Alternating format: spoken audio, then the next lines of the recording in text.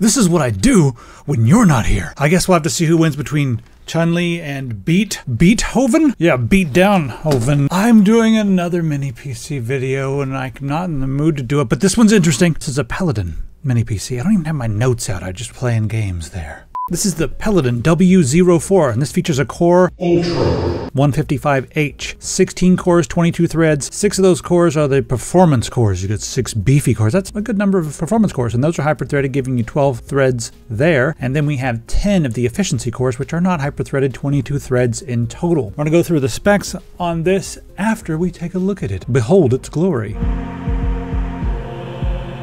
Thanks to Whokeys for sponsoring this video. Now these are OEM Windows keys. That means that you do your own tech support. You're not going to be relying on Microsoft and they're generally locked to the hardware. We got a coupon code, click on buy now, put in coupon code TS25, hit apply, and that price comes down. Now when you compare that to the outrageous prices from Microsoft, you'd have to buy this many, many, many times to equal the price of one regular key from Microsoft. As of right now, this Windows 10 Pro key will unlock Windows 11. We also have Windows 10 Home, Windows 11, you can buy it directly, Windows 11 Home, and we have two flavors of Office. Once you're finished, all you have to do is click on your user account up here, go to your user center, click on My Purchase Orders, just View Keys and Codes, and you can just copy and paste your key, hit Start, type Activate, click on Activation Settings, paste it in there, click on Next, and you will be activated. So head on over to whokeys.com to get yourself an OEM Windows key at a price that makes sense. Now this case, this little case, I really, really like it for a few different reasons. Now we're not talking pure on aesthetics, even though I do kind of like the industrial style and all the different metal panels that you get on this. But I really like the ideas we're seeing here on the top because I'm tired of taking screws out of things to get access to the innards. It's just a magnetic top that just pops open. So I'll show you the inside in just a second. Keep on looking at the outside. It's, I'm just making you look at this for a little bit longer. Um, let's tell you what else comes in the box. So you got HDMI cable, you got your power cable. You also have a thermal pad and a heatsink for an extra M.2 that you can put under the hood. Now we'll crack it open and look under the hood. So it's magnetic. It just pops off. It's a pretty strong magnet. So anyway, now that we've got it open, you can see inside there we've got 32 gigabytes of DDR5 memory, and that is a one terabyte M.2 NVMe um, SSD. Now you can see that this already has a heat spreader on top of that and you know underneath that there's a thermal pad. It needs it because this M.2 is really fast. I'll show you the benchmarks in just a second. Let's keep going through uh, all of this. So we got a clear CMOS button, we got USB-C, we got a power button, we got our audio jack, combo jack there for your headphone and microphone. So the USB 4 there, it also, it's 40 gigabits per second. It supports using a graphics dock if you want to hook up an external graphics dock uh, or video transfer, whatever like that um, and it can be used as DisplayPort. So USB4 is extremely versatile, so you'll be able to hook up three different monitors when you combine everything. Now on the front, those are USB 3.2 Gen 2. Flipping it around to the back, and look at that, I love seeing two RJ45 ports. These are 2.5 gigabit NICs. You get two of those. As far as other connectivity goes, you also have Wi-Fi 6 and Bluetooth 5.2. Also on the back, we have two USB 2.0, which I am completely fine with. I enjoy uh, USB 2.0 for my peripherals. Above and beyond that, we have DisplayPort 1.4 and HDMI 2.0. Both will do 4K 60 Hertz. So all in all, you can have three monitors uh, running with this. The dimensions are 128 by 128 by 52 millimeters, and it weighs 0.6 kilograms without any of the accessories hooked up. Comes with Windows 11 Pro. Comes Windows 11 Pro pre-installed. The TDP on this is 55 watts. All right, now I don't know what the price is on this right now. I, I'm not sure because it's it's not out yet. I'm making this a few days before it comes out. I know the Core Ultras are generally a little bit more expensive than the similarly, uh, I guess the similarly spec or the similar speeds when it comes to like the Ryzen parts. But this one, um, I think you'll see in the benchmarks, it's pretty fast. So I can't think of anything else. Let's go into the benchmarks. All right, I forgot, and it's been 25 minutes, but this is AIDA 64, and we are running the CPU at 100%. We had a little bit of throttling right there, 3%. It's not very loud, but we did have a tiny bit of throttling. And if you can see over here, I've got a couple different things going on. I've got just AIDA monitoring things. Looks like we're getting in the upper 80s over there. And then here, the core temperatures, God, the CPU package is getting really hot. Yeah, the Core, yeah, Core Max, yeah, this is, um, it's running a little warm for my taste, and I don't like the fact that we saw some throttling there. A little bit of overheating on this. So if you're going to be doing, like, rendering and everything, just keep that in mind. It has not crashed or anything, so Not worried about that, but it's uh, running warmer than expected. Right there, we got core thermal throttling detected on both hardware info and AIDA64. So I might have to go and try to figure out if there's some way to turn these fans up. Let's go ahead and test the, the sound. First off, this is just how loud it is while I'm just sitting right here at the desk. The room's not super quiet because there's a lot of stuff going on. All right, now I'm gonna put it about a foot away and just show you how loud the, the unit is compared to the room. It's barely more audible than anything else that's going on in the room. So it's really quiet. The fans have a constant sound and it's just kind of a, it's not really that bad. It's not very obnoxious. So I'm going to say the fans are okay on this one, but the heat is maybe uh, not getting dissipated. All right, I'm running Cinebench right now and I just got hardware info. I left it open because I wanted to monitor what was going on and we're seeing much more reasonable temperatures. It keeps going like CPU package keeps saying 90, then 70 then 89, then 70. But yeah, the, the CPU temperatures look a lot more reasonable here. Says we're still getting some throttling here, but um, yeah, it's it's working. It's actually working really well. So we'll see what the score is when we're finished. Alright, and as expected, the single core performance on the Core Ultra 7 155H, really good. Score 1781 if you're playing along at home. Note that these down here, these are 11th gen, so, you know, like 12th, 13th, 14th gen stuff, and also the AMD stuff. Going to be a little bit higher than that, but it's not showing up here on the, the scale. Alright, so there's our scores. The multi-core score 15826 and the single core score 1781. I want to do a better test, straight up, head to head with an AMD Ryzen 9 8945HS. And you can see the single core actually favors the Intel Core Ultra, but the multi-core is really close. So these two processors are very similar in just raw computing power. Take a look at that. It's a little bit ahead. 15826 versus 15786 for the Ryzen 9 8945HS. Well, it looks like Intel can actually game. This is the highest score I've seen from an Intel, so this Core Ultra 7 155H doing a pretty good job. 73.1 FPS score of 3058 here in Valley. Again, let's go back and take a look at the 8945HS. It's only a couple FPS faster, so that that feels a little interesting, I suppose. I'm not used to the uh, I'm not used to the Intels being almost as fast as the AMDs when it comes to you know gaming. Let's try a few more tests. All right, let's take a look at superposition. 5195 minimum, 30.36 with an average of 38.86. There you can see all the detailed information right there. Running this test on 1080p at medium. Now Geekbench tests both the CPU and the GPU. We'll start with the CPU test. Single core score 2317, multi-core 13080. You can see all the tests. Pause it if you need to see any specific test for something that you're doing. And then let's look at the OpenCL score 35889. Scroll on down and I'll show you all those test results here. Okay, the hard drive in this, it just screams. This is ridiculous. Yes, this is what I want to see. Um, even on the write speeds, those are very respectable write speeds, but look at that read speed. So if you're just accessing stuff, it's going to feel extremely snappy. Let's take a look at the IOPS as well. Yeah, this is easily the fastest I've seen, um, you know, just out of the box with any of these mini PCs. Now this came with a heat spreader because, you know, it's so fast. All right, let's look this up and just see what we get. I'm not sure. It usually tells me what it is. All right, the only information I'm getting here for the for the drive, uh, it's, it's, running Phison, of course, because pretty much everything is now.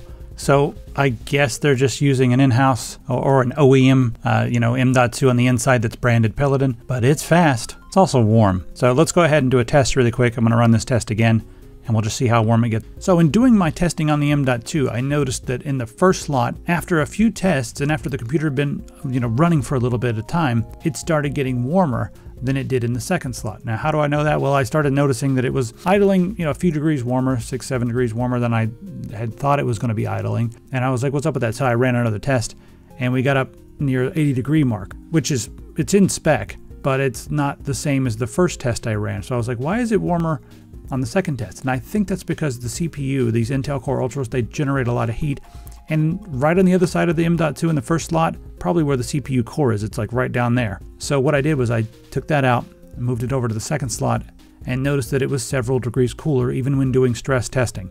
Now I messaged them back and forth a few times and they said that they gave me one of the initial units and that they're making some adjustments to make sure that, you know, it stays cool in both slots. But if you get a unit and you feel like it's running a little bit warm in the first slot, it's so easy just to take the top off, take it out, move it to the second slot, put it back in there. It's going to run at the exact same speed because they're both PCI Express Gen 4. So you're going to get over 7,000 megabytes per second on the read in both of those slots, but it's going to run, you know, I, was getting like 7 to 8 degrees uh, cooler in the second slot after it was on for a little bit of time. So yeah, those those CPU cores are probably just getting nice and, and warm, but that's just kind of what the Intel Core Ultra does. That's the nature of the beast here. If you want to put a second M.2 in here, um, it would be just fine, especially if you're getting an M.2 that's like under 5,000 megabytes per second or like a PCI Express Gen 3x4 and you put that in there and it's running at a slower speed, like 3,400, 3,500 megabytes a second, which is still really snappy, but that's not going to generate as much heat. So that's how I would run this.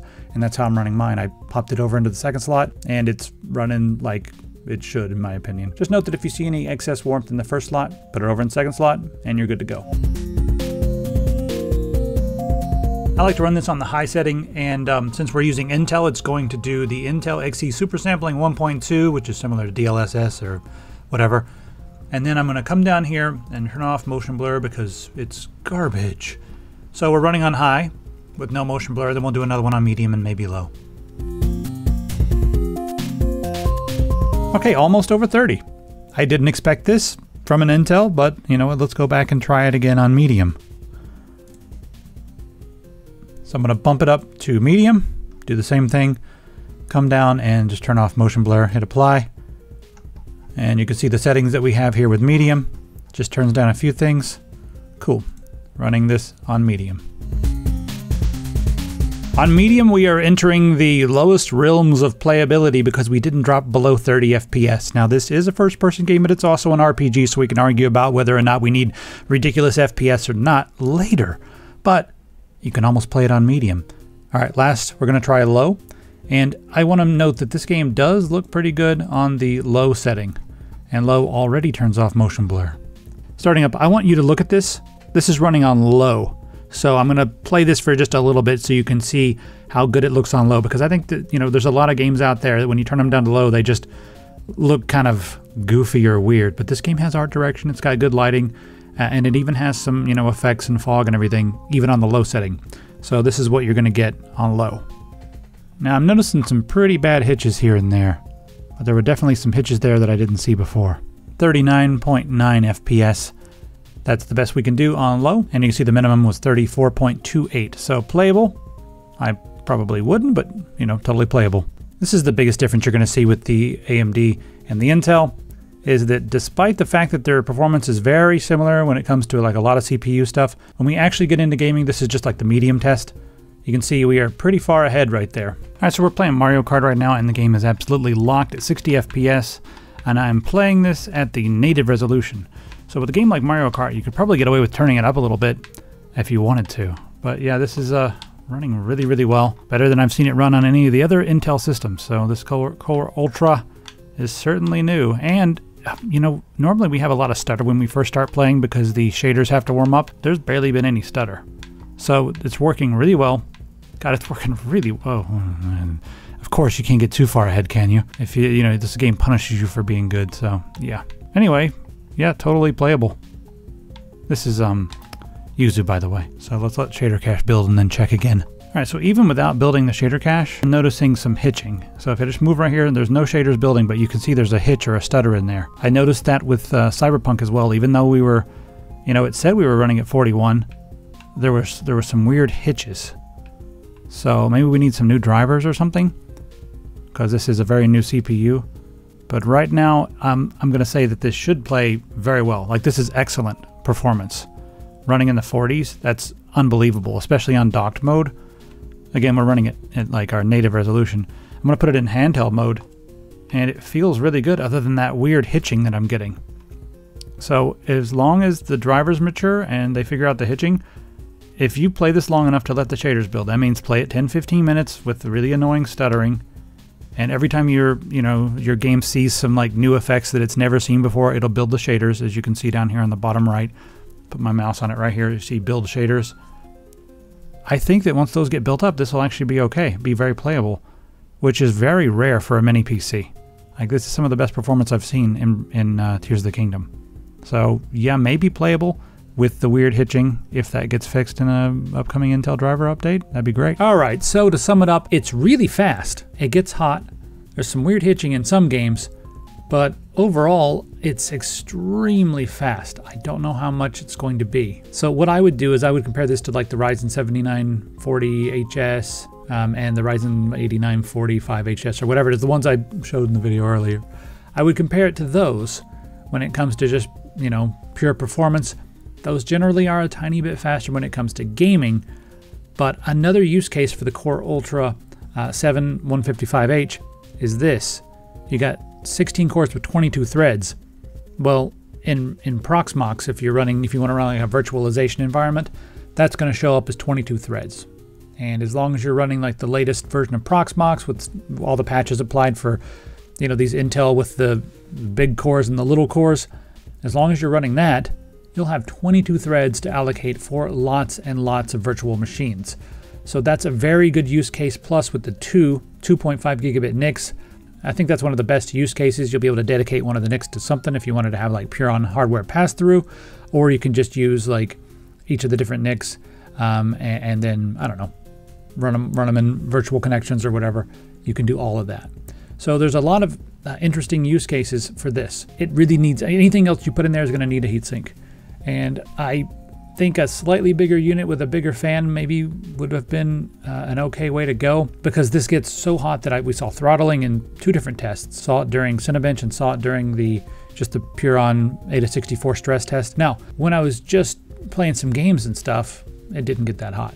So it all depends on what you're going to be doing, and it's not going to like you know, if you're running Proxmox or whatever, it's generally not going to be running at 100% all the time. You can monitor your CPU. Mine hardly ever does because you know, one or two VMs will do some crazy stuff, and then a couple other VMs will do some crazy stuff, but the whole thing's not going to be running at 100% all the time because that's crazy. Yes, I would prefer it to be much cooler, but at the same time, it all depends on your use case. This may or may not be a big deal to you. Um, I think the bottom line for me will be what are the prices on this compared to the prices on the Ryzen? So, I mean, just click on the links down below and you'll see if it's like twice the price of the Ryzen, then I've been nice for no reason because it's stupid. Don't get it if it's twice the price of a similarly spec Ryzen. You know, you do have a lot of threads, but I mean, the Ryzens are all beefy cores, right? So I think that's really what it's going to come down to for me. And maybe in the description, I'll, or maybe or whatever, I'll, I'll put a little note saying like, all right, now now that I see the prices, I've made a bit different of a judgment, but this is going to be up to you. So check those prices, see how it is. The last thing I want to say here, and I've been talking a lot about Intel, but I am really impressed with what Peladn's doing. I like their style, I like their design, I like their build quality. So I would like to see more stuff from them. So I have, I have no problem there. My problems are just with the, I mean, they could have made it a little bit better as far as the, the cooling goes, but a lot of that has to do with the fact that the Intel is, you know, it's a 55 watt part and it's just running hot. It's fast, but it's hot. All right, let's see what's for sale over at epicpants.com, shall we? And this month, we have our 3360 based sensor half price, these half price, and these half price. So we get you all taken care of right here. I love these things. They're for the for the money. I mean, sure, yeah, you spend 50 bucks, maybe you'll get something that has an internal gyroscope, but otherwise, I really like the way this one feels. And then this is water resistant. So head over to epicpants.com, half price on those, and I'll see you in the comments.